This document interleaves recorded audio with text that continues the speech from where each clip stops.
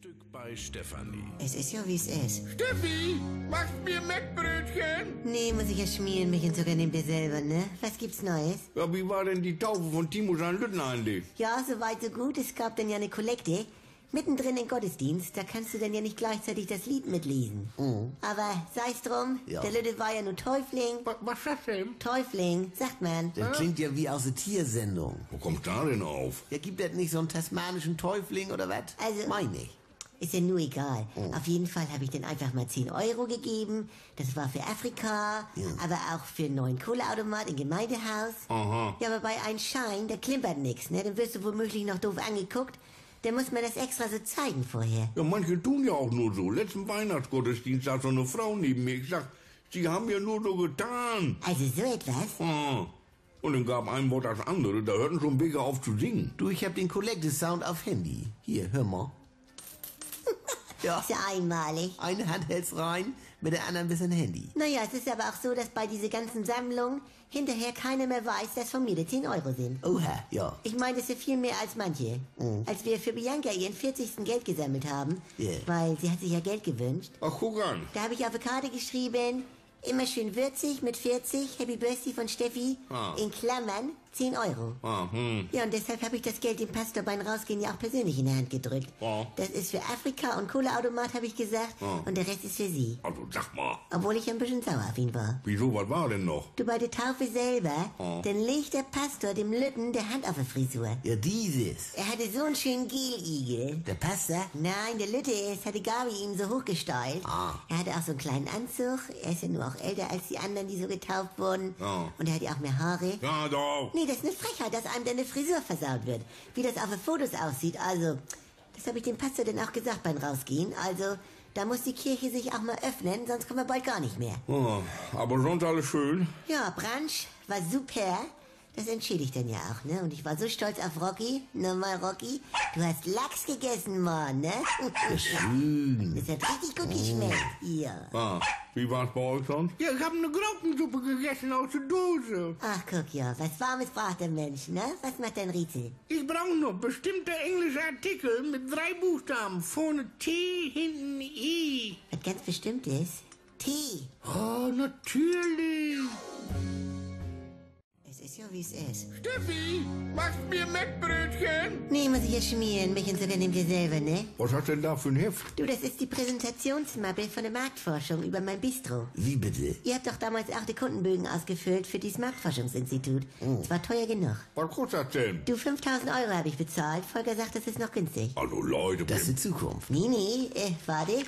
Das ist die Generierung von Impulse für die In Initiierung neuer Marketingentscheidungen. ja, wenn das so ist, dann nehme ich noch einen Kaffee. Nee, nehmt das mal ernst. Also ich bin heilfroh, dass ich da jetzt mehr Klarheit habe über die Fähigkeiten und Grenzen meiner Marke, Ja. die kognitiven Wahrnehmungs- und Entscheidungsprozesse der Kunden auf emotionaler wie auf rationaler Ebene. Mettbrötchen! Hans, lass mal bitte. Und die Natur des Produktes oder der Dienstleistung sowie die Regeln der Marktdynamik. Ja, und was ist da nur rausgekommen? Also die Marke Steffi Schlemmer Bistro, ne? Ja. Steht für die Mehrheit meiner Kunden für Schlemmen und aber auch Bistro. Aha. Nee, und äh, dann ist das schon mal keine Baustelle, sagte der Berater. Insofern, ne? Ja. Und äh, von der Kundenbindung her bin ich ja besonders stark aufgestellt im Segment der 47 bis 96-Jährigen. Ach was. Overall. Und äh, da bilden sich wohl drei gleich starke Cluster raus. Wa- Wo ist das denn? Kannst du warte. 33,3% sind Early Believer aus dem Bereich der erlebnisorientiert Aktiven. Dann habe ich wohl 33% Simplifier. Was ist das denn? Das sind passive Alte. Franz, Was ist das denn? Aha, und, und was wäre ich denn zum Beispiel? Georg, du wärst denn wohl ein Maintainer, also kulturell aktiv und trotzdem, warte, hier steht das genau, unprätentiös und magentreu. Ja, und was bringt dir das jetzt, dass du das weißt? Ja, ich weiß ja nur, wo ich unternehmerisch hin möchte mit meinem Magenkern, weil ich bin im Zielerleben der Kundschaft frisch, knusprig, einfach lecker, in Abgrenzung zu täglich frisch und günstig, weil das wollen alle. Allein schon. Ich will ein Leuchtturm sein in der Gastronomielandschaft, steht hier auch. Und äh, das mündet dann eben in diesen Claim. Was? Der Slogan, das ist ja, was das so teuer macht, diese Untersuchung. Aha, und der wäre? Steffis Schlemmerbistro? Frisch, knusprig, einfach lecker. Eben nicht. Das ist ja nur das Zielerleben vom Kunden her. Was? Der Slogan ist Steffi Schlemmerbistro. Lecker. Stark. Ja. Nee, Georg, das, das Essential. Ja, und jetzt gibt's Brötchen, oder was? Ich muss es erst schmieren. Was? Mach dein Rätsel. Ich brauch noch Radaufhängevorrichtung mit fünf Buchstaben. Ein Haken. Oh, das hatte ich gesucht. Stück bei Stefanie. Es ist ja, wie es ist. Steffi, machst mir Mettbrötchen? Nee, muss ich ja schmieren. Mich und sogar nehmt ihr selber, ne? Was gibt's Neues? Jetzt kommen die Bestien. Ich bin gewappnet. Was hast du denn für Albträume? Der Wolf, der ist ja schon überall mittlerweile. Es ist doch herrlich, wenn die Natur dann wieder zurückkommt. Und die gucken ja immer so niedlich. Oh, die beißen so ein kleines Lamm, sagen wir mal, direkt in den Kopf. Äh, nee, das sollen sie ja nicht. Guck, das ist das. Alles niedlich und, und denkt, keiner will es. Wieso, ich will das doch. Nur nicht in der Nähe. Das ist ja auch mit Kindergärten und Atom. Was? Ich mein, Strom und Kinder, das ist die Zukunft. Aber man will das ja nicht unbedingt bei sich ein Haus dran haben, also von der Wohnqualität. Das hat ja nun nichts mit Wölfe zu tun. Jetzt pass mal auf. Du wohnst zwischen einem Atomkraftwerk und einem Jugendknast. Über dein Haus sind diese neuen dicken Stromleitungen. Ja. Und darunter ist jetzt wohl noch so ein Endlager mit diese rostigen Fässer. Oh, Ah, Was? Nee, warte. Äh, dann ist bei dir noch im Haus eine Kindertagesstätte und gegenüber eine Kneipe mit Biergarten. kriegst ja kein Auge zu. Und dann kommt noch nachts der Wolf durchs Fenster und beißt sie in die Kehle. Warte mal. ja nu? Ich meine, das ist ja keine Wohnqualität in dem Sinne. Sag mal. Dann rennst du blutend aus dem Haus und das Letzte, was du siehst, ist, dass in dein Garten so ein Rudel Wildschweine dein Gemüse angesabbert hat. Sünde. Also Leute, Nee, also, da hat er natürlich recht. Also so habe ich das noch gar nicht gesehen. Du, du, Udo, wo ist das denn nun genau? Franz. Du, bei Gabi gegenüber haben sie jetzt ja neue Wohnungen gebaut. Ja, das ist ja auch wichtig. Das sagst du jetzt so. Äh, aber da sind jetzt ja Leute gegenüber. Und das ist dann ja auch nicht mehr das, ne? Also. Ja, es müsste gesetzlich geregelt werden, dass wenn plötzlich bei dir gegenüber Leute wohnen, dass sie dir dann nicht auch noch Atommüll hinsetzen oder sowas. Naja, das muss man dann abwägen, ne? Nimm mal Kinder.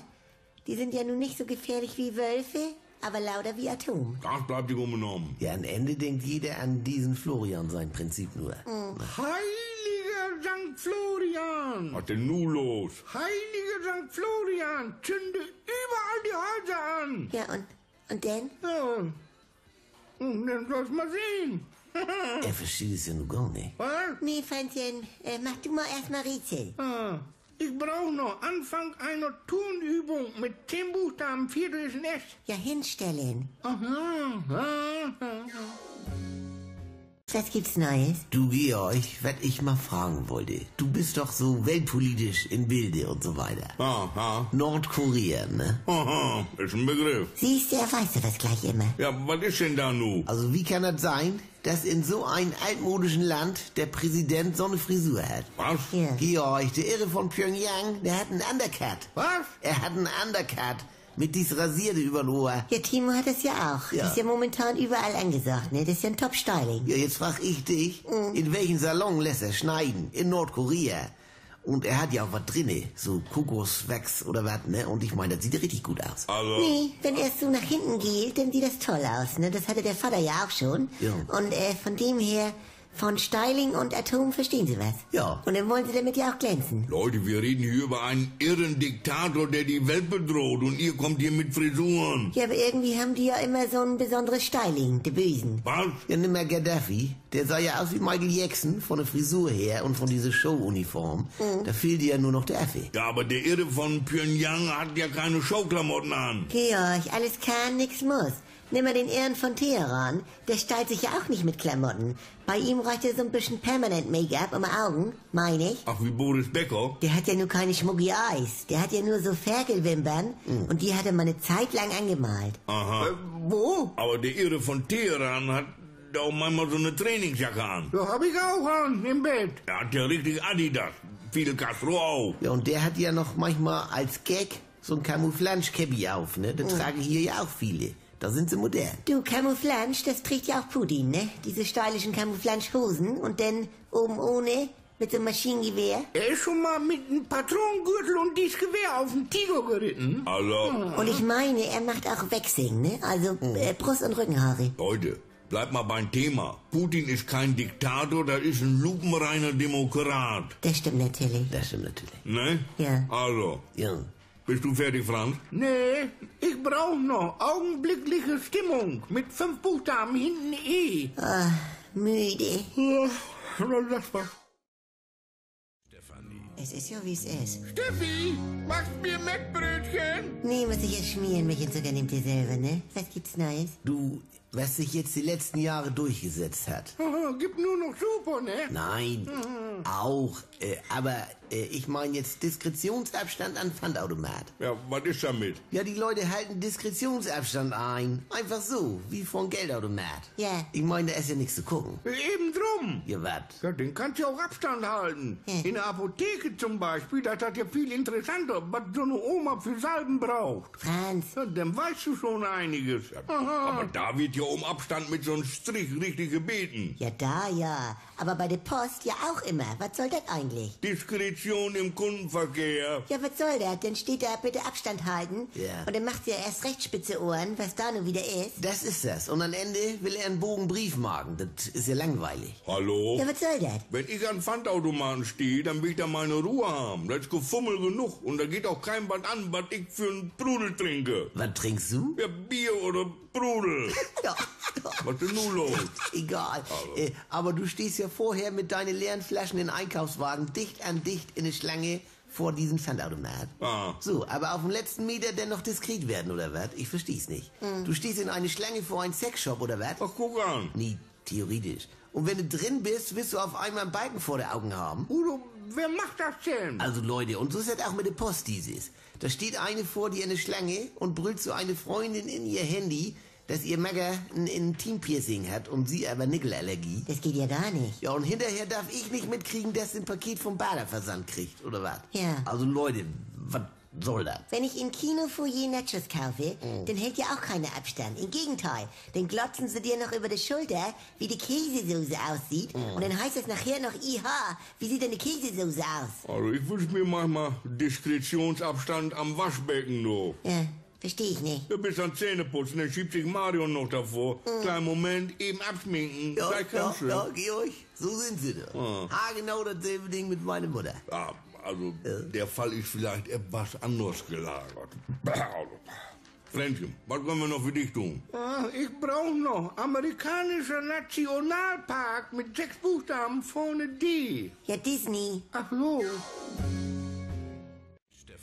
Es ist ja, wie es ist. Steffi, machst mir Mettbrötchen? Nee, muss ich ja schmieren, mich und sogar nimmt ihr selber, ne? Was gibt's Neues? Du, dieser Van der Vaart mit seiner Neue, ich glaube ja, die hatten da schon länger was. Wie? Ja, wenn sie seine Frau ihre Freundin war. Ja. Haha. Du tausendmal berührt, tausendmal ist nichts passiert, vielleicht noch Alkohol ins Spiel und dann plötzlich, ne? Das hätte ich mal mit gebackenen Camembert. ich hörte gerade gebackener Camembert. Ja, 40 Jahre lang bin ich an gebackenen Camembert vorbeigegangen.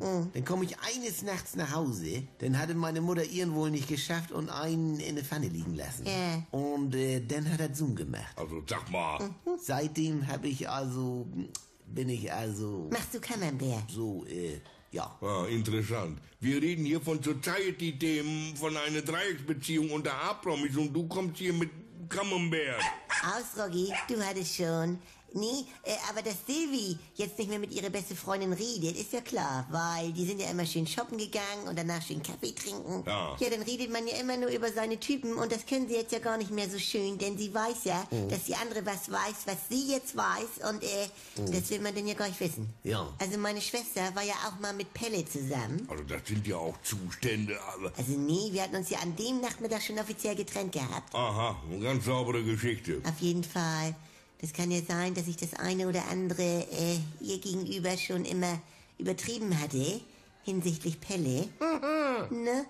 Und wenn die dann mit denen zusammen ist, dann fliegt sowas ja auf. Und wenn sie mich dann noch so komisch anguckt immer, dann weiß ich ja, dass sie weiß, dass... Äh, Ne, deshalb waren diese 14 Tage auch Funkstille mit Gabi.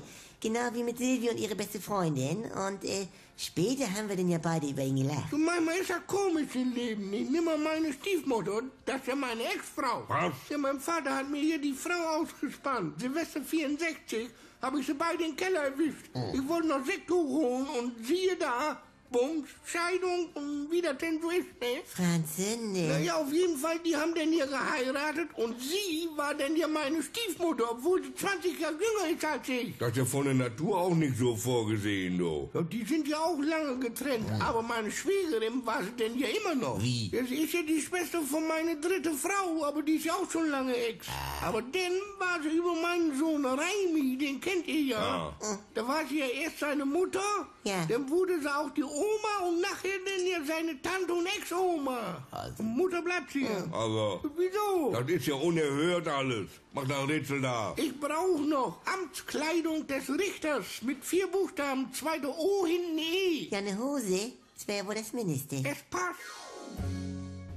Frühstück bei Stefanie. Es ist ja, wie es ist. Steffi, machst mir Mettbrötchen? Nee, muss ich erst schmieren. Milch und Zucker nehmt ihr selber, ne? Was gibt's Neues? Hm, gestern haben sie ja wohl beraten, wo sie ihren Atommüll lassen sollen. Weißt du, was die da bisher in Gorleben für verblasen haben?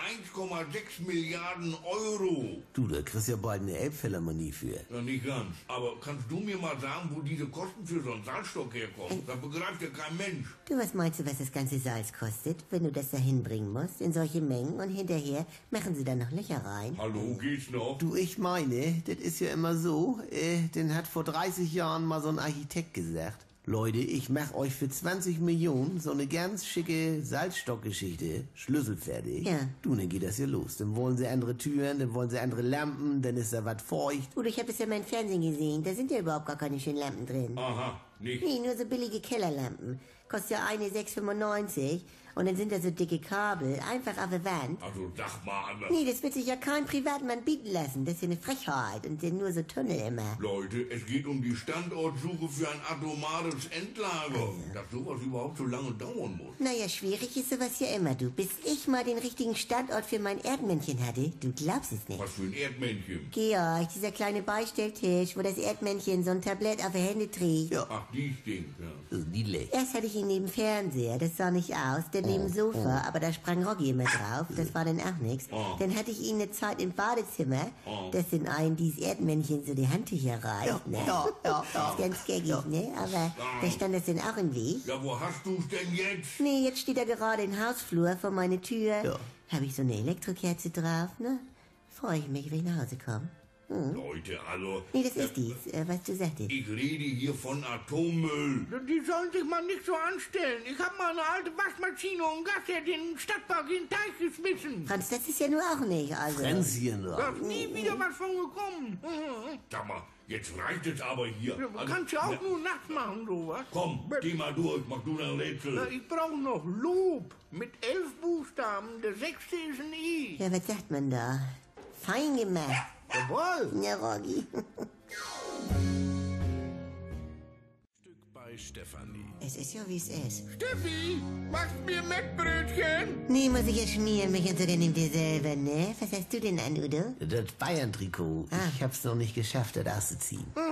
Nee, die Stimmung war ja nur sehr gut und da saß man dann ein bisschen länger. Und dann mit die ganzen Unterschriften drauf. Einmalig. Wo gab's das denn? Nee, das sind nur so Deko-Autogramme, das hab ich selber gemacht. Ah. Ja, mit so einem Marker. Hm, ja, schick. Ach, dann ist das noch nicht mal echt. Das ist ja nun völlig egal. Das ist nun völlig egal. Man kommt ja als Fan gut rüber und bei dies Gekriegel heutzutage bei der Autogramme, da kannst du ja sonst was behaupten. Ja, dann sagst was. Also, wenn du dir heute irgendwo ein Autogramm holst, dann sieht das ja aus, als wie wenn so ein Kleinkind mit einem Filzstift spielt. Das ist das, ne? Die reinste Verarschung. Äh, frei hier nicht so rum. Früher, Fritz Walter, da stand Fritz Walter mit Vor- und Zunahme. Ja. Aber dann ging das ja los, 76, da hatte ich den Fall Möllendorf. Was ist das denn nun wieder? Ulrike von Möllendorf, die hat die ZDF-Drehscheibe gemacht.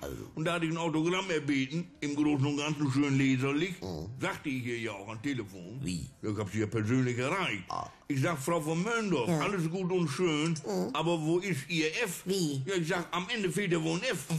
Diese Frau hat einfach aufgelegt. Georg, also, Nee, da muss man sich mal vorstellen. Also, Und dann hatte ich ja den Fall Jürgen Markus. Georg allmählich. Ja, hatte ich auch ein Autogramm bestellt, damals noch bei der Hitparade. Jürgen Markus, 469 Herne, Marienstraße 6. Ja, doch. Ja, ein vollkommen unleserliches Gekrakel. Ich schreibe zurück. Wenn Sie wirklich Herr Markus sind, schicken Sie mir bitte zeitnah eine Kopie Ihres Personalausweises. Allein schon. Hier kam auch nichts. Jeder spielt rum, wie er will, und das nennt sich Autogramm doch. Hallo, darf ich hier mal um Ruhe bitten? Glaubst du denn, dass man bei Yogi Löw sein Autogramm noch die Ö-Punkte erkennen kann? Ja, Franz, Also auf mein Deutschland-Trikot habe ich Ihnen mit Punkte gemacht. Das interessiert mich nicht. glaubt Sie jetzt, ich bin hier am Denken. was denn? Ich brauche noch innerer Teil unseres Planeten mit sieben Buchstaben hinten N. Franz, Höhlen. Ah, das war's. Bei Stefanie. Es ist ja, wie es ist. Steffi, machst mir Mettbrötchen? Nee, muss ich erst schmieren. Milch und Zucker nehmt ihr selber, ne? Was gibt's Neues? Steffi, ich brauche mal die Hilfe von deinen Neffen. Oha, was denn? Ja, ich will Anzeige erstatten gegen einen Globi 66, ne? Da muss man ja denn diese IP-Adresse rauskriegen, dass man ihn rankriegen kann. Was hast du denn gemacht? Ich habe gar nichts gemacht. Ich hatte in einem Forum im Internet mal eine Frage nach Verzinsung von Mietkaution gestellt. Ja. So, bei solchen Einträgen mache ich hier unten immer so einen kleinen Vermerk mit Schrägschrift. Was? Mit Schrägschrift. Achtung, ungebetenes Duzen wird von mir strafrechtlich verfolgt. Du hast ja aber auch Probleme. Also, Warte. Ja. Denn antwortet dieser Globi 66 doch wörtlich, Ed Ahlerich, wie bist du denn drauf? Also jetzt ist er dran. Ahnt es nicht. Ich lass mir das nicht mehr bieten. Ich hab mich da informiert. Du, Georg, im Internet wird geduzt, auch wenn man sich sonst sieht. Wenn ich das nicht will, kann ich die anzeigen. Ich bin ja mit Dr. Brime per Sie, aber nun haben wir rausgekriegt, dass wir in einem gleichen Hundeforum sind und er der Doc Charlie heißt und ich ihn da immer duze als Miss Priggy. Siehst du, das kommt davon. Ah, Sünde, du, also ich weiß gar nicht, was ich jetzt, also wie ich ihn jetzt, also ich gehe da gar nicht mehr rein. Ne, dann eiert man rum mit du oder sie, also. du selbst der Papst eiert ja rum. Wie bitte? Wenn der Papst aus dem Flieger steigt, dann sagt er ja auch zu Merkel, Sie, Frau Bundeskanzler. Ja. Andererseits, bei der Verabschiedung am Flughafen, Merkel und Gauck stehen da zum Winken, dann heißt es auf einmal, Gott segne euch. Also von wegen Sie, ne? Ja, das ist das, ne? Aber es gibt ja auch so Bereiche, da duzt man denn Leute, die man normal sitzen würde. Was weiß ich, Internet, Midnight, Sauna. Das ist ja wohl ein Unterschied, ob du mit Dr. Breme in der Sauna sitzt oder mit so einem Würdenträger zum Duzen. Ja, ich stand ja neulich mal ins Stadion in der Halbzeitpause zwischen zwei Polizisten an der Rinne. Ich so, sag mal, habt ihr Spargel gegessen? Das ist ja wohl dann... Mein Herr, hab ich den nachgeschoben, weil der eine denn schon so guckte, ne? Ah, ja. Ja, höflicher geht's ja wohl nicht. Also, man muss sich da herantasten. Ich hab Heinz Rühmann gesiezt damals, 36 an der Rinne. Franz, nicht, also. Franz, nicht schon wieder diese Geschichte hier. Ja, nun, waren noch andere Zeiten. Ah, da, das war's. Und jetzt macht er Rätsel. Ich brauche noch hornähnliche Substanz mit sechs Buchstaben, vorletzter ist ein I. Geweih. Oh, jawohl.